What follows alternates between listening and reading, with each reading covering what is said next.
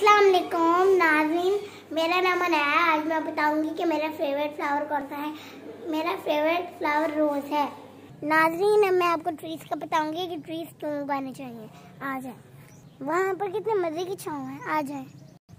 हमें ट्रीज इसलिए उगाने चाहिए कि छाँव होती है ट्रीज के नीचे।